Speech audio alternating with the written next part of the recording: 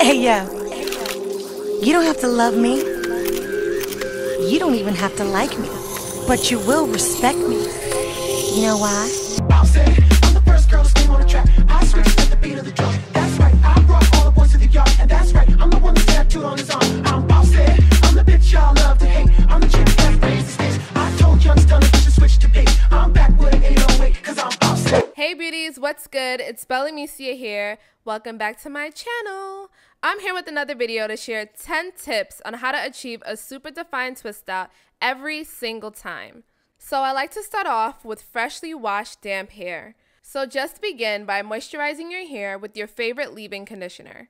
I already went ahead and used Kinky Curly Knot today and gave myself a kind of deep side part in the shape of a C so my first tip can be easily overlooked. It's just to make sure your nails are cut short and your rings are removed. If you have tips, make sure they're not chipped, okay? Because you don't want your hair getting caught in your nail and you're like dragging your hair out. Like, it's honestly the worst. I can't even count how many times I almost teared my hair out of my head because my jewelry got caught in it or my hair got snagged on my nail while flat twisting. Let me know in the comments down below if this has happened to you. So my second tip would be to begin your twist on clean, wet, and moisturized hair. When your hair is damp, your hair strands tend to absorb the products a lot better and dry in the shape of the twist that you put them in. So when it comes to parts, it does not have to be perfect, but I like to make mine as close to straight as possible. Once you got your part to your liking, you want to start applying your first layer of moisture, which is water. Next, taking my favorite styler, Deva Curl Super Cream Coconut Styler, paired with my favorite hair gel, Argan Oil Eco Styler Gel, I work these two together to make sure I have a strong hold for my twist. So my third tip would be to use a strong curl enhancing hair product with a firm holding gel. This just ensures that you have a firm but flexible hold to make sure your twist outs last a long time. It's okay to mix it up until you find the perfect combination of products, but just make sure they both have firm and flexible holding properties. So to flat twist, just start off with two small sections of hair at the root and divide it in half. Then begin twisting your hair as tight and as close to the edge as possible. This makes sure you have a super defined curl, especially in those areas that you're more prone to frizz. As you can see, I'm kind of pulling on my twist as I'm twisting, just to make sure it's as tight as possible, because once you stop, it's gonna get loose. So just continue twisting both strands of hair, right over left, all the way down to the ends, adding more hair product as needed. If you're not familiar with flat twisting, it's just like a regular two strand twist. The only difference is you're adding additional hair from the scalp as you twist along.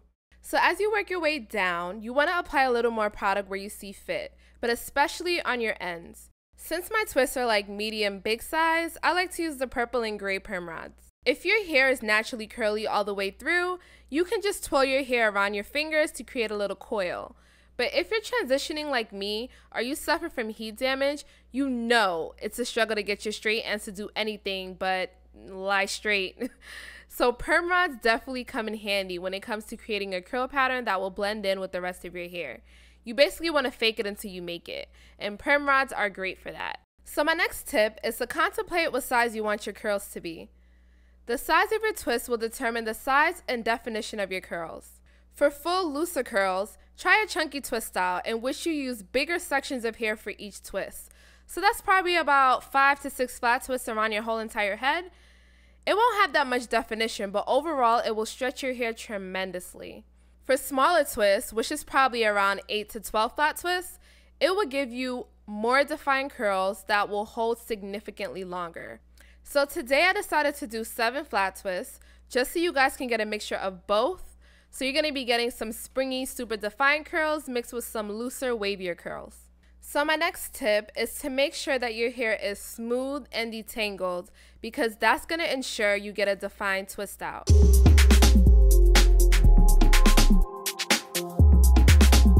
For beginners, it can be easy to accidentally sweep a few strands of hair from one twisting strand to the other. I flat twist all the time and it still happens to me.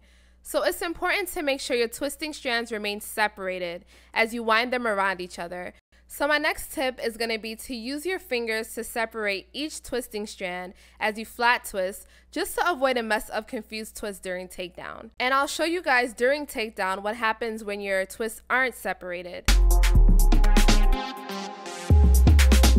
So if you feel knots as you're twisting your hair, don't hesitate to grab a comb and smooth that baby out.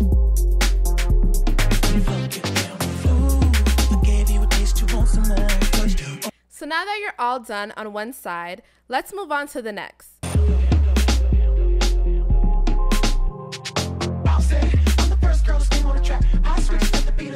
So once you're done, this is what you're left with. Shiny, moisturized, and chunky flat twists. Once I'm done with both sides, I like to grease my scalp with black seed castor oil. Then you're just going to secure these twists with a satin scarf, tie that bad boy up nice and tight, and you're ready for bed. So this is the very next day. As you can see, the makeup is on fleek. So yeah, once your style has set, just remove your satin scarf. Allow your style to dry completely before you take your twist down, just to reduce the chance of frizz and a failed twist out. And begin carefully removing your perm rods. Um, so if Birdman and Stevie J had a baby, I imagine they would be doing something like this. Anyway, moving right along.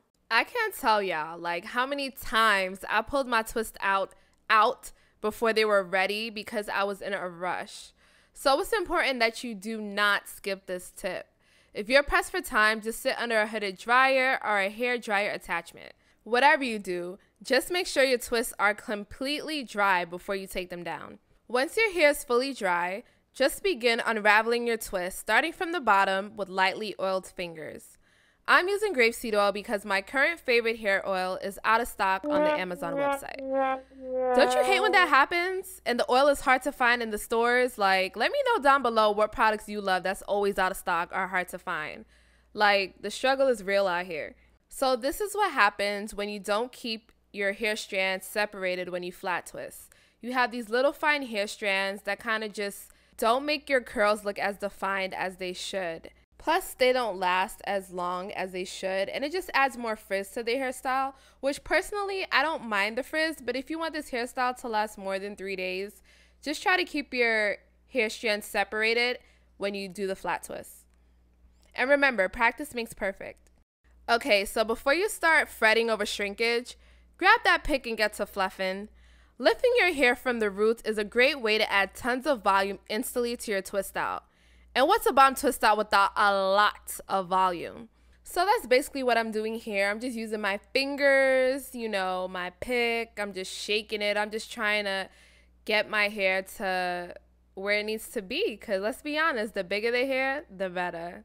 That's right. I brought all the boys to the yard. And that's right. I'm the one that tattooed on his arm. I'm boss I'm the bitch y'all love to hate. I'm the chick and these are the results. Let me know what you guys think down below. I'm absolutely loving the shine, the definition, and the volume. Like, oh my god, my hair is so big. It's so soft. Like, it's amazing. I hope these tips were able to help you guys on your next twist out. If you're new to my channel, be sure to hit that subscribe button on your way out. Don't forget to hit the little notification bell so you'll be notified whenever I post a new video. Thank you guys so much for watching, and I'll see you in the next one. Bye, beauties want some get down, want some get, get you want some more want down, want some get, get down. Get you want some get down, want some get, get you want some more down. Get you want some get down, want some get, get down.